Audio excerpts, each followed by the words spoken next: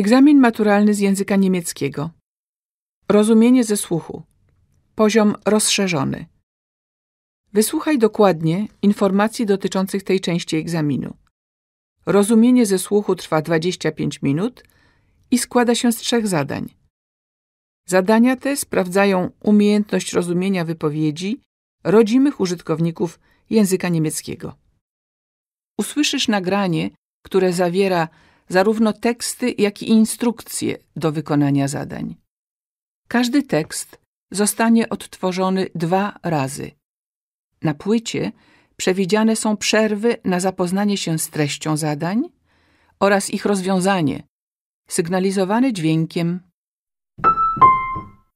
Przed wysłuchaniem każdego tekstu usłyszysz natomiast dźwięk. Rozwiązuj poszczególne zadania zgodnie z poleceniami w trakcie słuchania tekstów oraz w trakcie trwania przerw po ich wysłuchaniu. Zadanie czwarte. Przeczytaj uważnie polecenie i zapoznaj się z treścią zadania.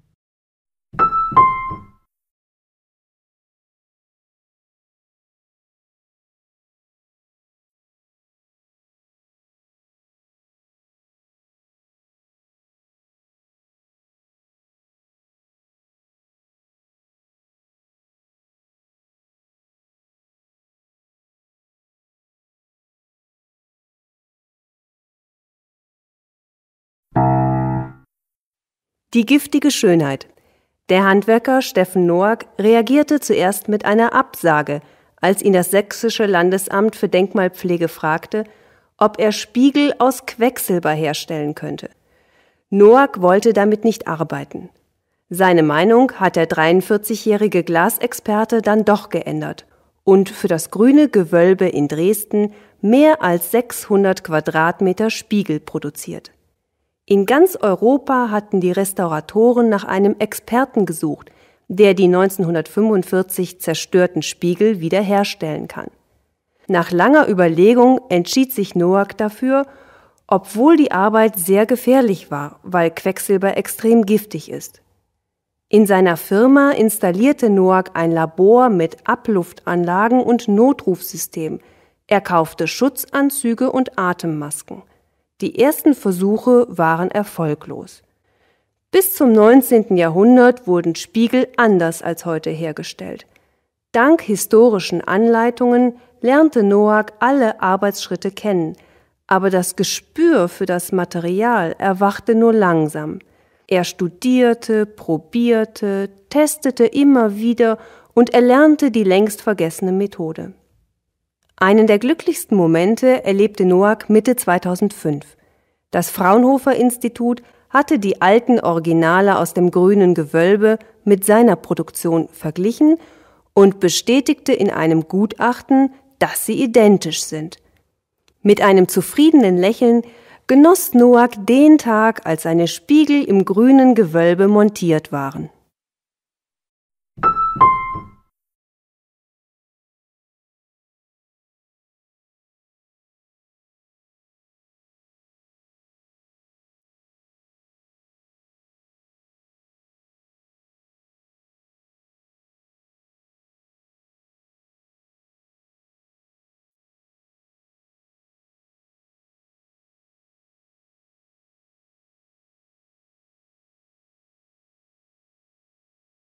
Wysłuchaj tekstu do tego zadania jeszcze raz.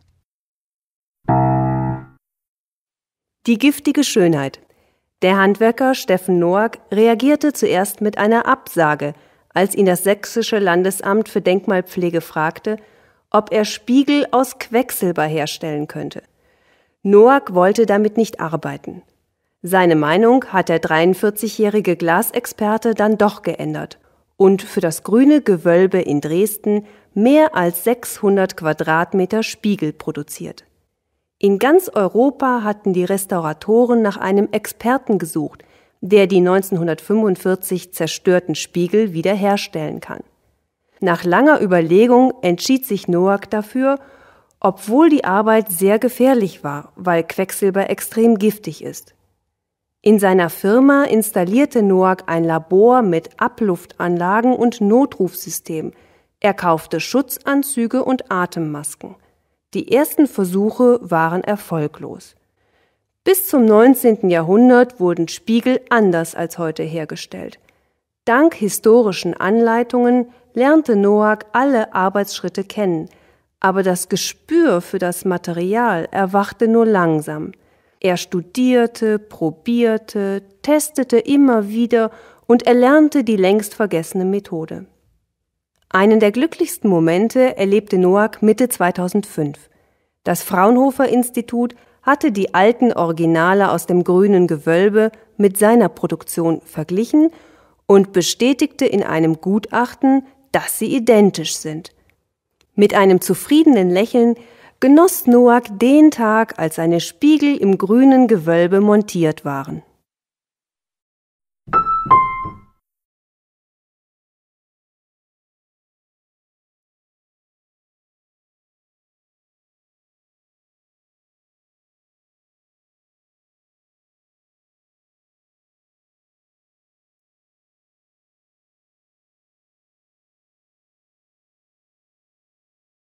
Przenieś rozwiązania na kartę odpowiedzi.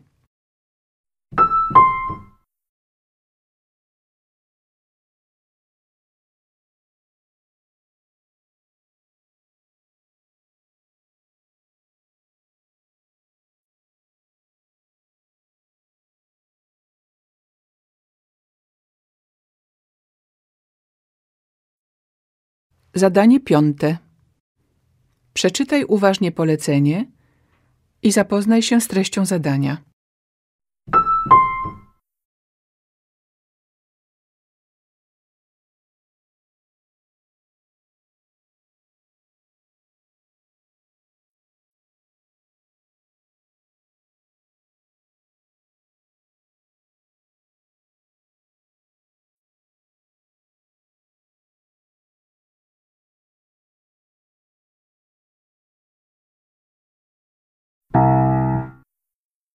Liebe Zuhörer, jetzt kommen fünf Berichte zum Thema Umwelt.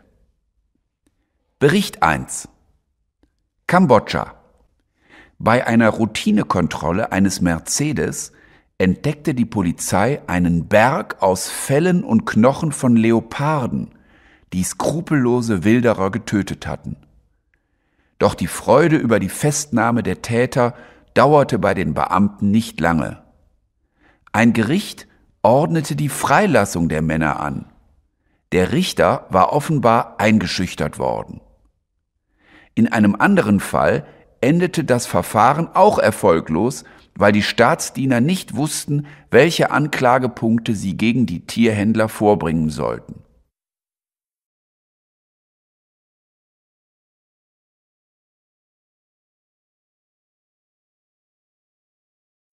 Bericht 2 Mäusen, Ratten und Mücken tut der milde Winter gut.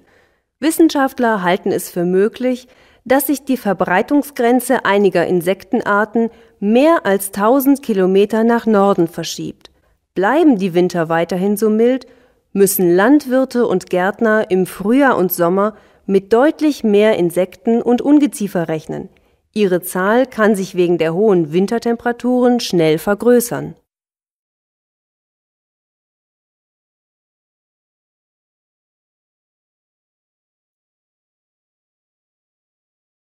Bericht 3 Laut einem Bericht nimmt das Abschmelzen in den peruanischen Anden drastisch zu.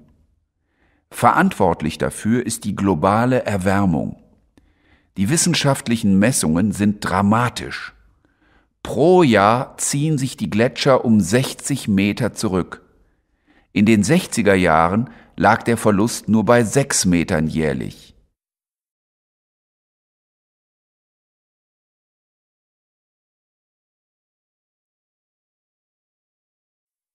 Bericht 4 Tiger, Leoparden und andere Tiere werden von Wilderern gejagt.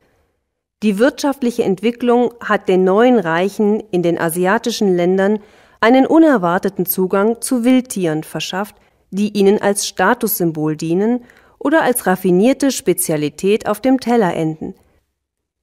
Das größte Problem besteht darin, dass immer mehr Geld für Wildtiere in Restaurants ausgegeben wird. Jeder weitere getötete Tiger bedeutet eine Katastrophe für den Erhalt der Art.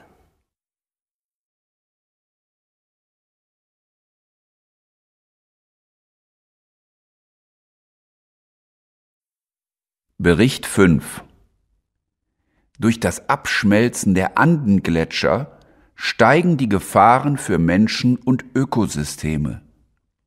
Während der Trockenzeit ist die Cordillera Blanca die wichtigste Trinkwasserquelle für die Bevölkerung in der trockenen Küstenregion Perus. Die Menschen dort mit Wasser zu versorgen, ist extrem kostspielig. Die Gletscher liefern das ganze Jahr über nicht nur Trinkwasser, sondern auch Wasser für die Landwirtschaft und zur Stromerzeugung.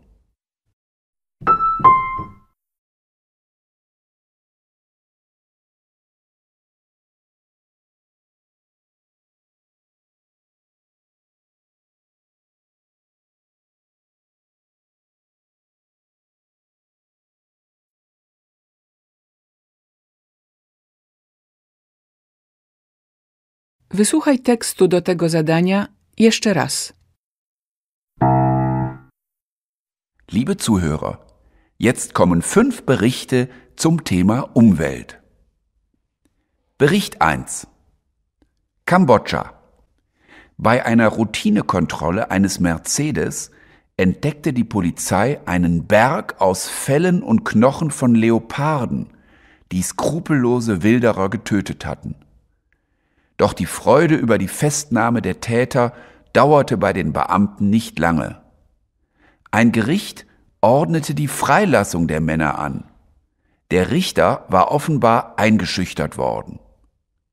In einem anderen Fall endete das Verfahren auch erfolglos, weil die Staatsdiener nicht wussten, welche Anklagepunkte sie gegen die Tierhändler vorbringen sollten.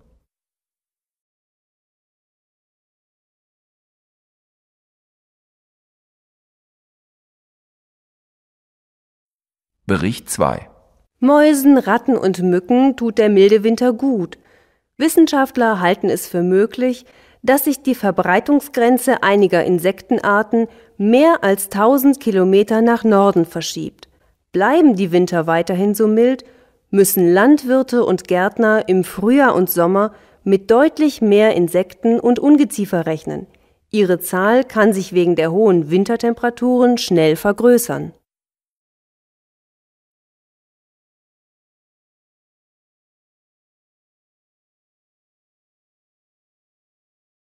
Bericht 3 Laut einem Bericht nimmt das Abschmelzen in den peruanischen Anden drastisch zu. Verantwortlich dafür ist die globale Erwärmung. Die wissenschaftlichen Messungen sind dramatisch. Pro Jahr ziehen sich die Gletscher um 60 Meter zurück. In den 60er Jahren lag der Verlust nur bei 6 Metern jährlich.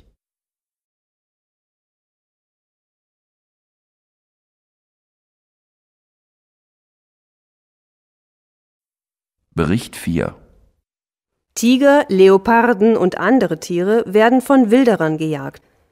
Die wirtschaftliche Entwicklung hat den neuen Reichen in den asiatischen Ländern einen unerwarteten Zugang zu Wildtieren verschafft, die ihnen als Statussymbol dienen oder als raffinierte Spezialität auf dem Teller enden. Das größte Problem besteht darin, dass immer mehr Geld für Wildtiere in Restaurants ausgegeben wird. Jeder weitere getötete Tiger bedeutet eine Katastrophe für den Erhalt der Art.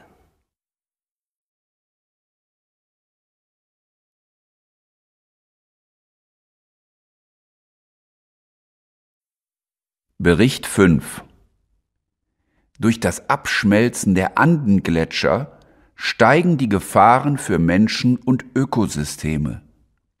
Während der Trockenzeit ist die Cordillera Blanca die wichtigste Trinkwasserquelle für die Bevölkerung in der trockenen Küstenregion Perus.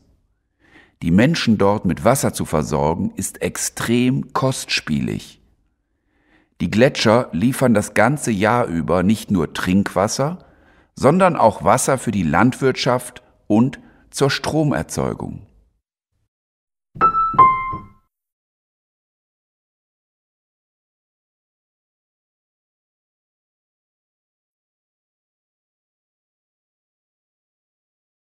Przenieś rozwiązania na kartę odpowiedzi.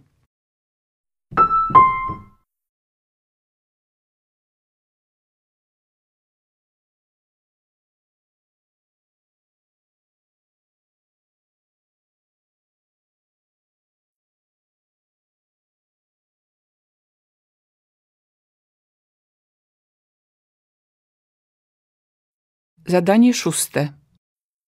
Przeczytaj uważnie polecenie i zapoznaj się z treścią zadania.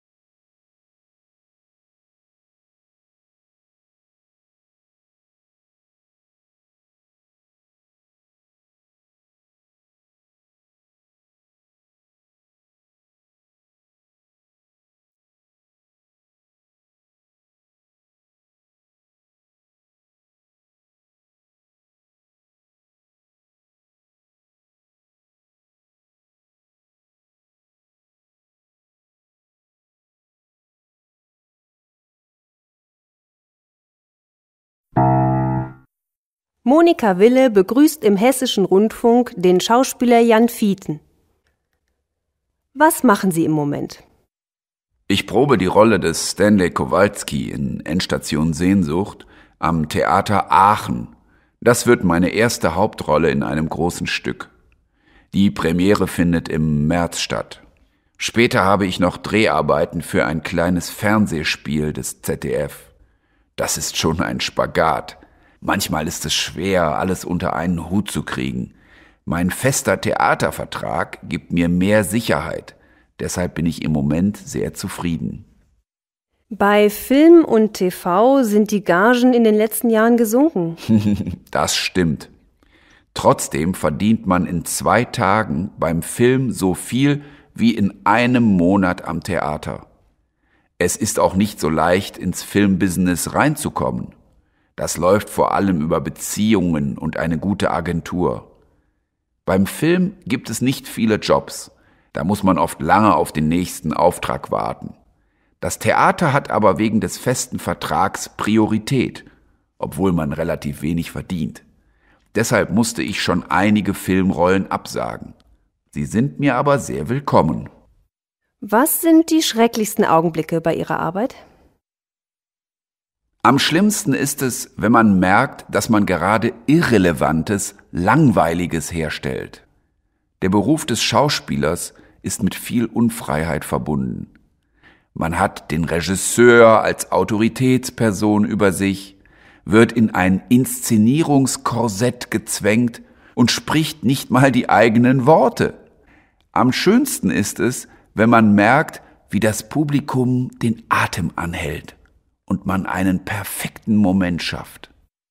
Haben Sie eigentlich viel Freizeit? Nein. Es ist in diesem Job schwer, Arbeit und Privatleben zu trennen. Man ist sein eigenes Instrument und kann sich deshalb nicht aus dem heraushalten, was man spielt. Einerseits finde ich es klasse, dass es diese Trennung nicht gibt. Andererseits macht man sich aber fertig, wenn man es nicht schafft, überhaupt noch ein Privatleben zu führen. Der Ortswechsel ist natürlich auch ein Problem. Meine Freundin ist Tänzerin und hat jetzt ein Engagement in Aachen. Vorher sind wir jahrelang zwischen Essen und Aachen gependelt. Das war nur für die Bahn gut. Sehen Sie optimistisch in die Zukunft? Hm. Im Moment läuft alles ganz gut aber es gibt Zeiten, da klappt gar nichts. Da hat man einen schlechten Regisseur, eine Rolle, die einem nicht liegt, blöde Spielpartner, keine Filmangebote, dann möchte ich nur noch Dachdecker werden.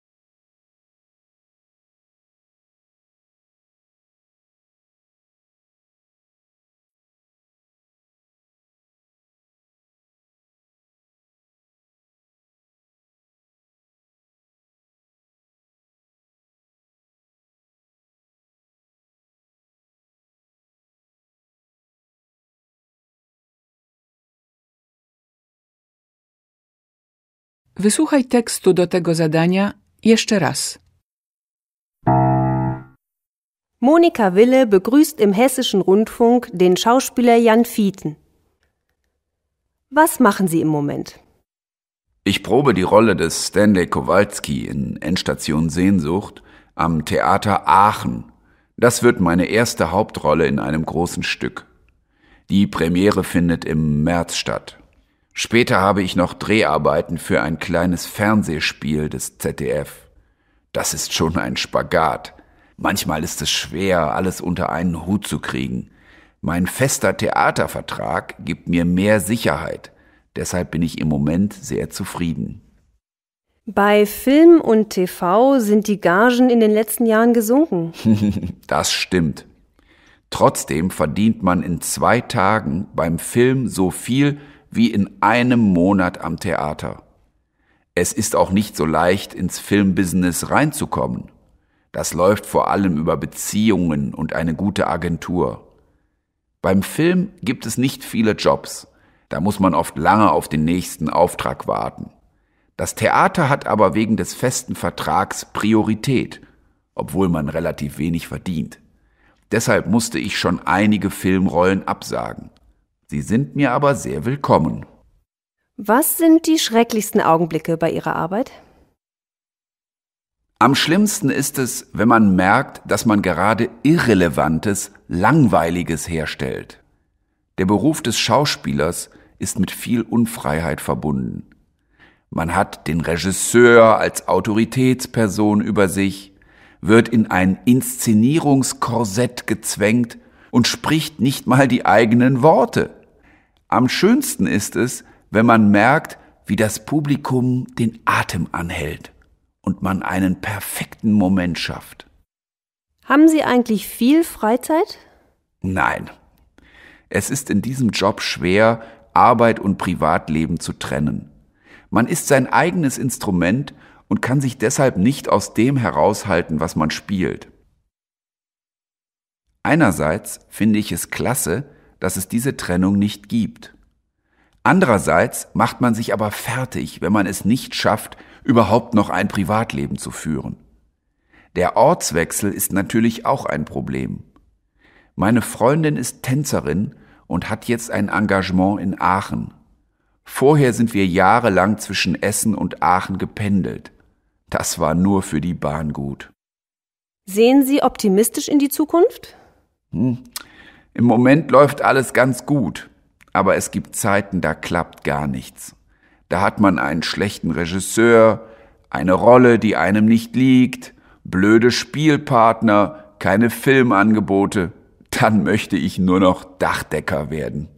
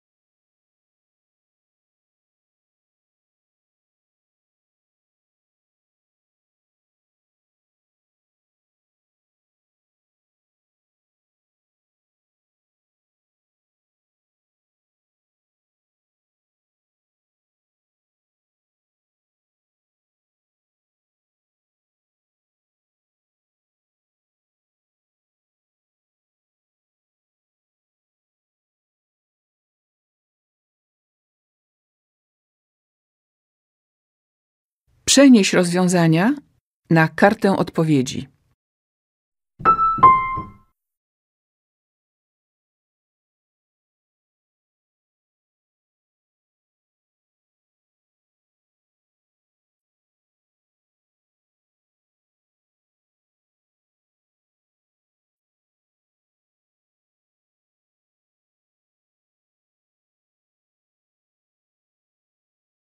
Czas przeznaczony na tę część egzaminu minął.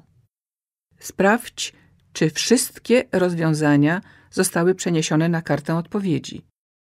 Następnie przystąp do wykonywania pozostałych zadań.